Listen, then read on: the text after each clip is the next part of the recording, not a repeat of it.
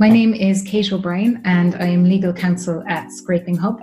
I'm looking forward to seeing everybody at the Web Data Extraction Summit, where I will be discussing GDPR and web scraping compliance.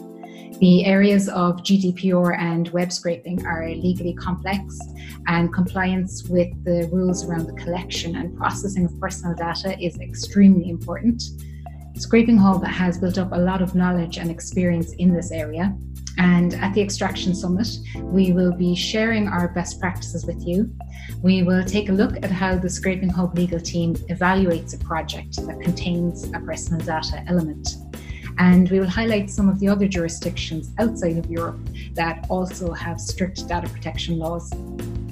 This talk would benefit anybody who has a particular scraping project in mind, or anybody who would just like to learn more about GDPR and web scraping in general.